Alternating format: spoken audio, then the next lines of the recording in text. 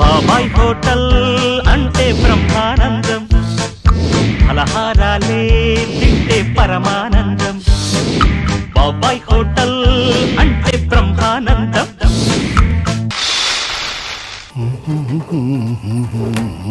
చిన్నదో వైపు పెద్దదో వైపు నన్న నన్న నన్న నన్న వైపు ఎత్తుకో ఎత్తుకో. ఏంటి బావా తెగ హుషారుగా ఉన్నావు? ఇప్పుడే ఆయనకి ఇద్దరు అని ఒక మంచి రొమాంటిక్ సినిమా చూసి వస్తున్నారు ఓ ఆయనకి ఇద్దరంటే పిల్లలా? కాదు పిల్లులు. లేకపోతే అంట. ఆయన ఈ ముసలోళ్ళకి చెప్పినా అర్థం కాదు. ఇద్దరు డైనమిక్ యంగ్ గర్ల్స్ ఇద్దరు. ఓహో నారీ నారీ నడుము మురారన్నమాట. ఎస్ బాబా ఎగ్జాక్ట్ అసలు ఆ పాటలో నన్ను నేను ఊహించుకుంటుంటే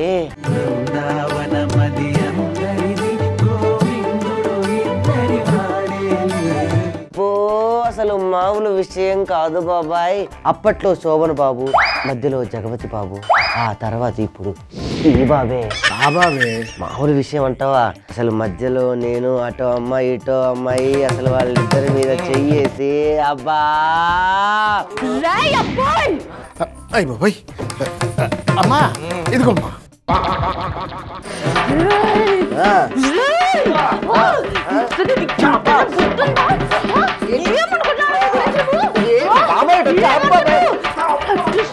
ఆ, తాళం గుర్తుంటాయి లేకపోతే ఏమన్నా ఒరే అబ్బాయి కాదే ఒత్త అబ్బాయినే నేను. అయినా నువ్వేంటే వచ్చిరాని సీరియల్లో వచ్చిపోయే క్యారెక్టర్ లాగా ఎ- ఎందుకు అట్ట ప్రవర్తిస్తున్నావు? ఏమైంది నీకు? ఎంత తప్పు చేసావురా నువ్వు? అంటే ఆ ఇద్దరు అమ్మాయిలు వేసుకొని. ఎర్రగా తీస్తుందిగా మనం కూడా పర్ఫార్మెన్స్ చూపించాలి. అమ్మా తల్లి విశ్వరూపం చూపిస్తున్నావు తల్లి. ఎవరు తల్లి నువ్వు ఇంతకీ? నేను మారమ్మని. మారమ్మ. ఏంటి? ఊరి చివర మర్రి చెట్టు కింద ఉండే మారమ్మవా? అక్కడి నుంచి ఇక్కడికి ఎందుకు వచ్చావమ్మా? నీ అంత చూద్దామని. నా అంతు చూడ్డానికా? నేనేం చేశానమ్మా నువ్వు మరీను? అందుకే వీడంత చూడ్డానికి వచ్చాను. అది. ఏంది ఇదంతా ఎంత చెట్టుకు అంత గాలి నాయనా? నాయన మేము ఇలాంటి కథలు వంద చెప్తాం. పుంకాలు పుంకాలు. ఎంత పెట్టకంత రెట్ట ఏంటి బాబా స్వయంగా వేప మంటలు చేతిలో పెట్టించి మరీ కొట్టించుకోవాలా? ఎవరైనా చూస్తే ఏమనుకుంటారు? అమ్మ దీని పర్ఫార్మెన్స్ అమ్మాయి మళ్ళీ మర్రి చెట్టు మర్రి చెట్టు. ఇప్పుడు ఆ మర్రి చెట్టు గిరి చెట్టు ఎందుకు? వంట చేసుకోవాలి పోండి. వంట లేరా? రాబాయ్. అబ్బాయి. ఇంకొకటి మర్రి చెట్టు లేదు. అసలే వేప మంటలతో కొడుతున్నాయి. రా, రా, రా. కంది చెట్టు నుంచి అన్ని చూసావు. అది కాదమ్మా ఇప్పుడు మర్రి చెట్టు. మర్రి నీకు ఎందుకు కానీ ముందు ఏ వంట చేస్తున్నావు చెప్పు. ఇవాళ ఏం చేస్తున్నామంటే వంకాయతో మూడు రకాలు చేస్తున్నాను రా. రాయలసీమ కొత్తిమీర వంకాయ. ఆ తర్వాత ఇంకోటి? నేతి వంకాయ. మరి మూడోదు? వంకాయ కారప్పొడి ముందు ఏం చేస్తున్నావు? రాయలసీమ కొత్తిమీర వంకాయ. ఆ మండలు జాగ్రత్తగా అట్టిపెట్టు అవసరం వస్తాయి. ఆ. ముందు నువ్వు చెయ్యవయ్యా. ఆ, చేస్తాను లేరా?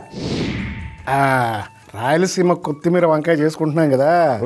దానికోసం స్పెషల్గా వంకాయలు తీసుకొచ్చాను చూడు. ఏమంటారు తెలుసా వీటిని? వంకాయ. నామాల వంకాయ అంటారు. అది దీన్ని ఏం చేయాలంటే ఇప్పుడు పెట్టిది పైన పెట్టు. దీన్ని ఎలా కోయాలంటే ఇది మొత్తం తీసేయకూడదు తొడిమంతా కొంచెం అలా ఉంచాలి. చేసిన తర్వాత ఇలా.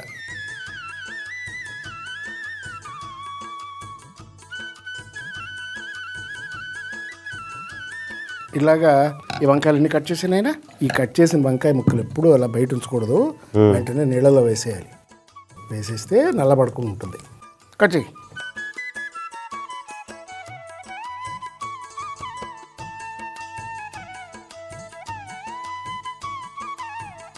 అన్ని కట్ చేసావా? అయిపోయింది. వెరీ గుడ్ దాంట్లో పోయి. అబ్బాయి బాబాయ్. ఇప్పుడు ఏం చేయాలంటే ఒక చిన్న ఒక పేస్ట్ చేయాలన్నమాట. చేసేద్దాం? పేస్ట్ చేసుకోవాలంటే ఏం చేయాలి? పెనం పెట్టాలి కదా ప్యాన్ పెట్టు. ఓ వేయించుకోవాలి.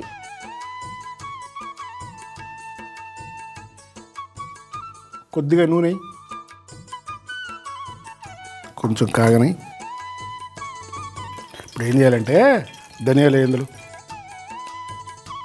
వెల్లుల్లిపాయలు పచ్చిమిరపకాయలు కొంచెం వేగని.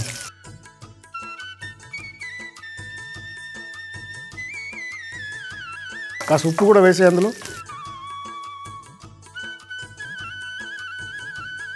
ఇంకా పొయ్యి ఆఫ్ చేసేసాయి. చాలు వేడెక్కింది. ఇప్పుడు కొత్తిమీర కూడా కట్ చేసి పెట్టుకున్నాము ఇది కూడా అందులో వేసేస్తున్నాం. కొద్దిగా వేగితే చాలు మరి ఎక్కువ అక్కర్లేదు కొంచెం వేగని. ఒక పని చేయి ఆ మూకుడు ఇటు పెట్టు. ఇదా? ఆ, అది పెట్టు. ఆ, మూకుడు పెట్టేసి పొయ్యి వెలిగించు పట్టుకెళ్ళి పేస్ట్ చేసుకురాపు నేను తీసుకెళ్తా. న్యాయం బాబాయ్ నువ్వేం చేస్తావు మరి? నేను నీకు హెల్ప్ చేయడానికి ఇక్కడ ఉంటాను సరే. నాకే పని చెప్తావురా? ఆపుతల్లా నీ ఆస్కారం కాబట్టి పక్కన నేను పోతా.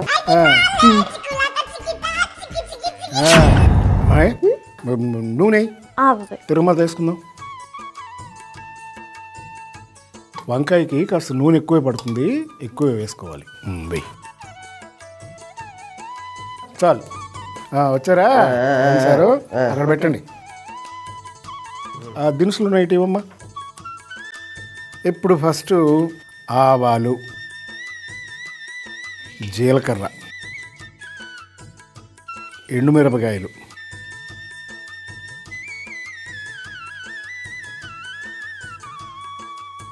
దాంట్లో కరివేపాకు. ఆ తర్వాత ఉల్లిపాయలు ఇంట్లో వేసుకోవాలి.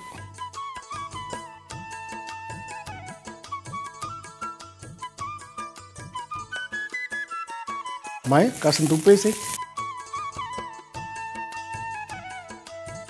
ఇదిగో కాస్త పసుపు పోయి ఇప్పుడు కొంచెం అది వేగాలి.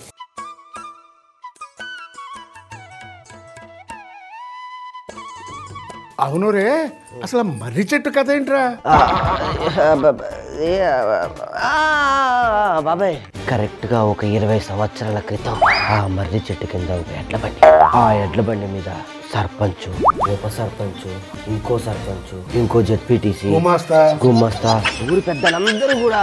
అందరూ ఉన్నారా? చెప్పేదాకా నువ్వు. చెప్పాక నువ్వు అంటున్నా. వాళ్ళు ఎవరు లేరు? అని చెప్తున్నా ఎవరు లేరా బండి ఏమైంది? చెప్తున్నా చెప్తున్నా. అప్పుడు పెద్ద తుఫాను గాలివాన మెరుపులు బడబడ రాలేదుగా? చెప్పుకో. చెప్పేదాకా ఎలా వెంట పెద్ద మనిషి ఒకటిది. వచ్చాయి. మరి ఎట్ల బండి ఏమైంది? ఉరుములు మెరుపులు వస్తే ఆ ఎడ్ల బండి అక్కడ ఉంటదా? ఆ. ఎడ్ల బండి ఓనర్ ఎడ్ల బండి వేసుకుని వెళ్ళిపోయాడు. అవునా? ఆ. ఓహో. అయితే ఇప్పుడు ఎడ్ల బండి ఎడ్ల బండి అలా జరిగింది అన్నమాట. అనమాట అయితే. చెట్టు ఎడ్ల బండి ఎడ్ల బండి మీద చెట్టు చెట్టు కింద ఎడ్ల బండి ఎడ్ల బండి ఎడ్ల బండి. కథలు చెప్తున్నావా? కథలు కాదు. బాబాయ్. మళ్ళీ వచ్చినట్టు పూనకం. ఏదో చేయి బాబాయ్. ఆ, ఏం చేద్దాం? అబ్బబ్బ, అదే, అదే, అదే. ఆగు కాస్త నీళ్ళు నీళ్ళు చల్లుతా. అమ్మా. ఓ. అమ్మా. శాంతించు తల్లి శాంతి బాబాయ్ గారు అక్కడ ఉల్లిపాయలు మారిపోతూ ఉంటాయి. ఇక్కడ ఏం చేస్తున్నారు? అవునా ఉల్లిపాయలు మాడిపోతున్నాయట్రా. ఇగో ఇది టమాటో వేసుకుందాం అమ్మా దాంట్లో. హా,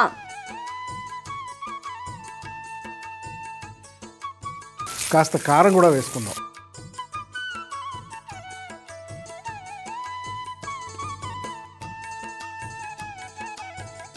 ఇదిగోమ్మా ఈ పేస్ట్ తీసుకున్నాం కదా ఈ పేస్ట్ కూడా దీంట్లో వేసేసుకోవాలి. బాబాయ్ గారు కొన్ని వాటర్ పైన కొద్దిగా పోయి.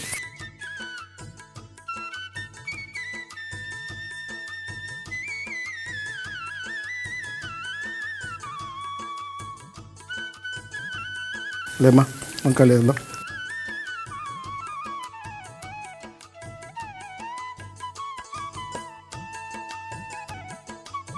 ఇప్పుడు రాయలసీమ కొత్తిమీర వంకాయ కూర రెడీ అయిపోతుంది అన్నమాట ఇప్పుడు ఆ వంకాయలు ఒక పది పదిహేను నిమిషాలు అలా బాగా ఉడకాలి. అందుకని మూత పెట్టేసి బావా ఏంట్రా? అది బాబాయ్ గారు ఇందాకేదో మర్రి చెట్టు అంటున్నారు. ఏంటి అది? అలాంటి పెద్ద పెద్ద విషయం తెలుసుకోకూడదురా నాన్న తప్పురా. చెప్పవా? వద్దు చెప్పవా?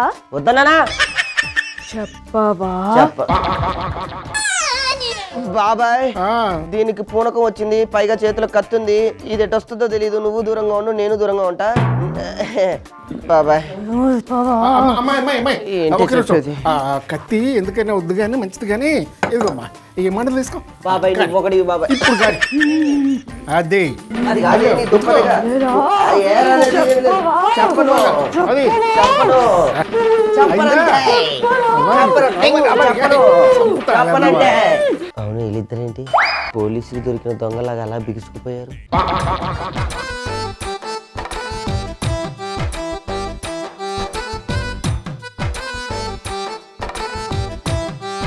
బాబాయ్ నెక్స్ట్ వంట ఏం చేద్దాం? నేతి వంకాయ చేసుకుందాం.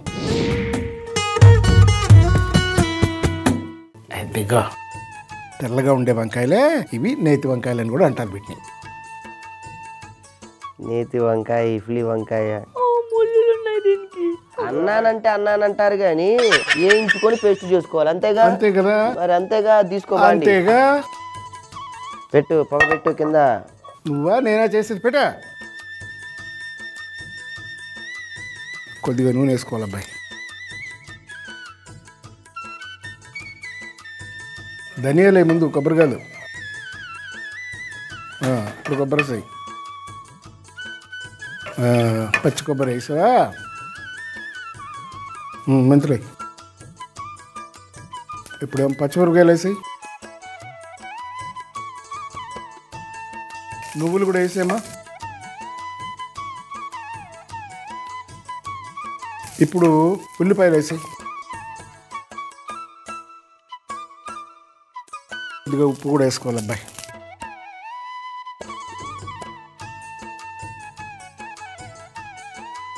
ప్యాన్ తీసుకుందా పెట్టు. పెట్టావా? గిన్నె ఉంటుంది పట్రా. తీసుకొచ్చాక పెట్టు పొయ్యి మీద పెట్టు. కొద్దిగా నూనె వేసుకోవాలి నూనె పోయి. బాగా వేడెక్కని. ఇప్పుడు తాలింపు కూడా వేసేసుకుందాం. ఆవాలు జీలకర్ర పసుపు కరివేపాకు. ఇప్పుడు వంకాయలు వేసే అందులో.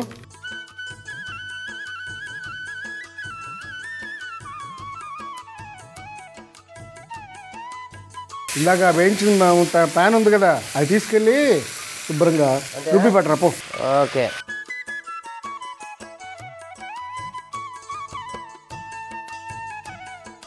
ఈ లోపు ఏం చేయాలంటే కాస్త చింతపండు పులుసు కూడా పోసుకోవాలి. ముఖ్యంగా ఏంటంటే కాస్తంత ఉప్పు వేసుకోవాలి. పాప జరగమ్మా. తెచ్చావా? పేస్ట్ దాంట్లో వేసి. పేస్ట్ వేసావా? దాంట్లో కొద్దిగా బెల్లం వేసుకోవాలి. మనం చేసుకునేది ఏమిటి? నేతి వంకాయ కదా. మరి నెయ్యి లేకుండా ఎలాగా? అన్ని వేసాం కదా. ఆ మూత పెట్టేసి.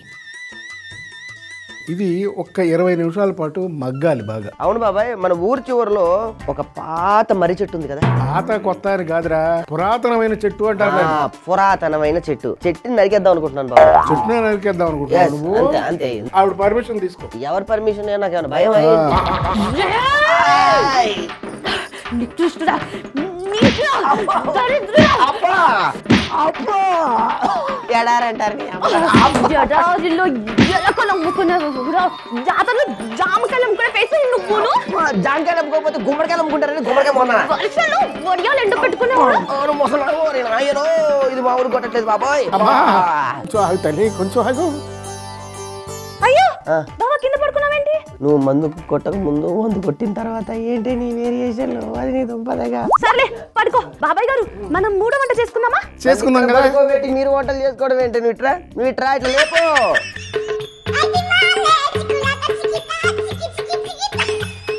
అమ్మా లేపావా? రామ్మా కూర అయిపోయింది కానీ ఆ గిన్నె తీసుకో. దాంట్లో తిద్దాం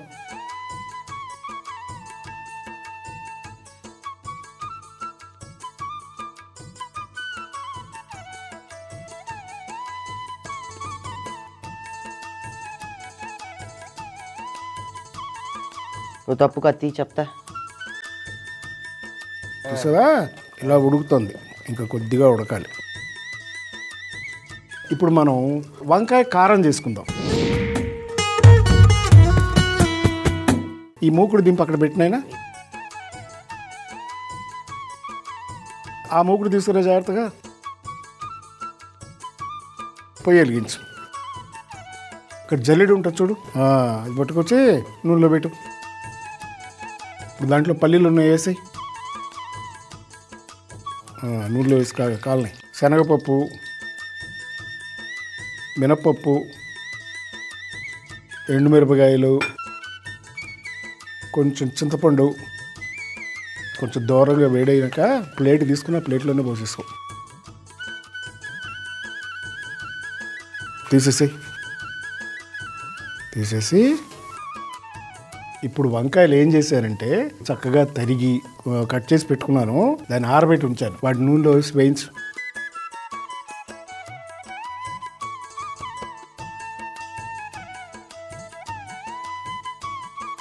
బాగా గట్టిపడే వరకు వేపాలి దీన్ని. కరకరలాడాలన్నమాట. అది వేగిపోయింది. ఒక పని చేయి. ఇప్పుడు వంకాయ ముక్కలు ఇందులోకి తీసేయి. నూనె రాకుండా తీసేయి.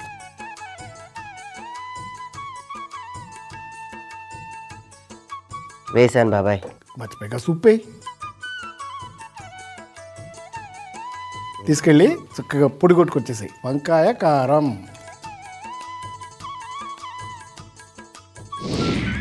ఏడిబిడి ఇంకా రాలేదు. ఆ బాబాయ్ గారు గంటలు చేస్తారు రావడానికి. వచ్చావురా బాబు. జరుగు జరుగు ఈ కూర కూడా రెడీ అయిపోయింది. అగ్గిని తీసుకో. పొడి కూడా రెడీ అయిపోయింది. జరుగు బాబాయ్ జరుగు.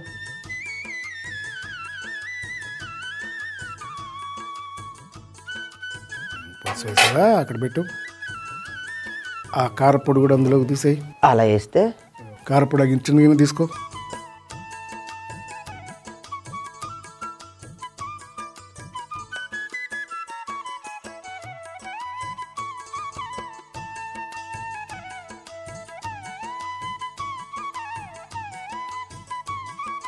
గోదారి గట్టుంది గట్టు మీద మర్రి చెట్టుంది మర్రి చెట్టుపై తొర్రుంది ఆ తొర్ర మనసులో ఏముంది.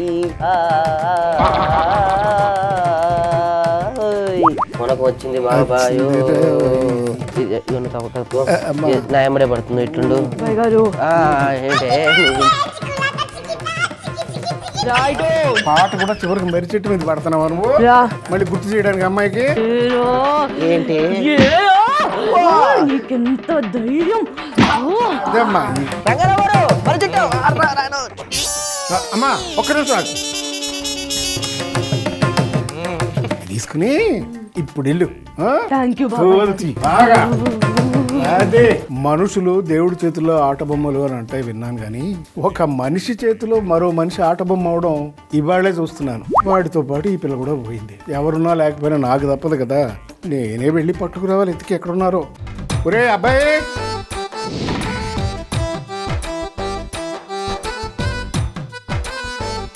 బుద్ధుందా? నీకు బుద్ధి ఉందో లేదో నాకేం తెలుస్తుంది? అసలు ఊళ్ళో వాళ్ళందరూ నిలబడి చూసి మరీ నవ్వుతున్నారా? కుర్చీలేసుకున్నావు మనం. ఆ, నవ్వుతారు నవ్వుతారు. అసలు నువ్వు కూడా ఏంటమ్మా?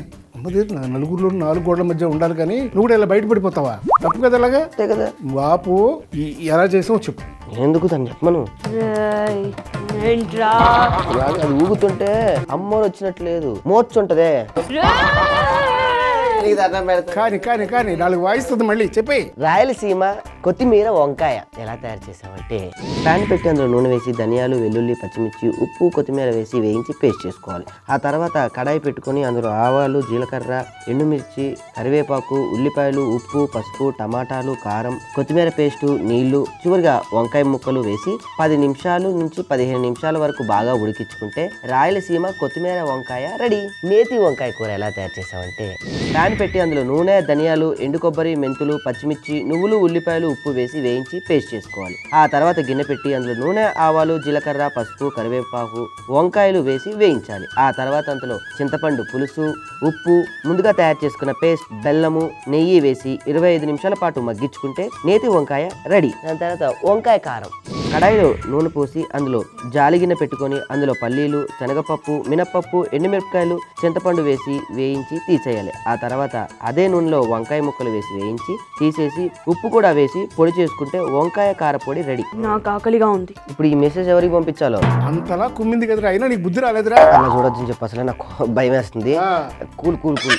ఎప్పుడు ఎందుకు తినడం మన హోటల్లో మనం చేసుకున్న ఫుడ్ని నా చేతులతో పెడతా. కూర్చోపో వెళ్ళి. నన్ను చూపు పాడుగాను. దయ్యంలా చూస్తుంది ఏంటి బాబాయ్?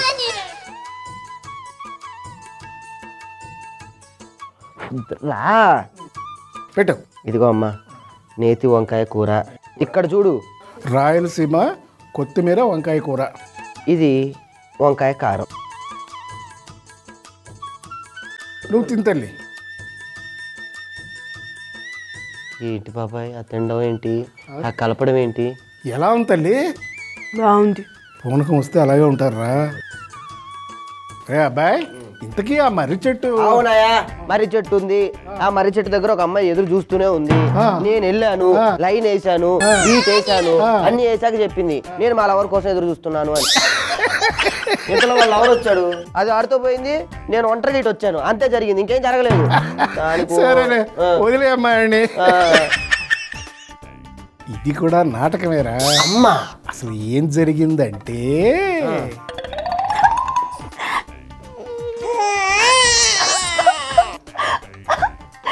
ఏమైందమ్మా? ఏంటి? కొంప తీసి సీరియల్లో కృష్ణవేణి మళ్ళీ చచ్చిపోయిందా? కాదు బాబాయ్ గారు. మరి? ఓహో పొద్దున్నే మేకప్ లేకుండా అద్దంలో మొహం చూసుకున్నావా? మరేంటి? ఎందుకు ఏడుస్తున్నావు? అది. బాబాయ్ గారు నేనుండగా బాబా వేరే అమ్మాయిని చూస్తున్నాడు? అంత దుర్మార్గమా? అవును తెలుసు నాకు వాడి సంగతి. వాడు ఇలాంటి ఏదో పనులు ఏదో చేస్తాడని నేను ముందు నుంచి ఊహిస్తూనే ఉన్నాను. అయ్యయ్యో అసలు అయినా వాడిని వాడి సంగతి నేను చూసుకుంటా కానీ నువ్వు ఏడవబాకు ఒక మంచి ఐడియా ఉంది. ఒకసారి చెవిటి పడాయి. గట్టిగా ఉంది రావట్లేదు. ఎట్టకారమా చెయ్యిటి పడేయమంటే దగ్గరకు రమ్మని. రా చెవిటి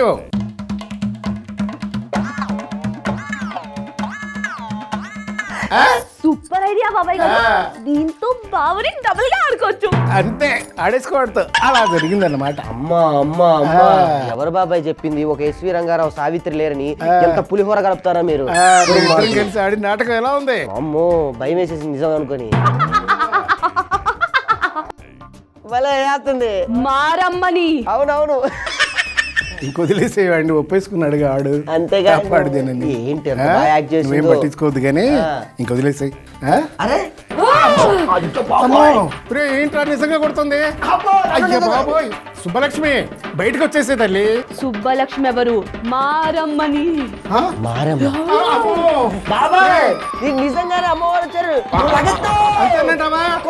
తీసుకెళ్ళరా? అయ్యో బాబోయ్!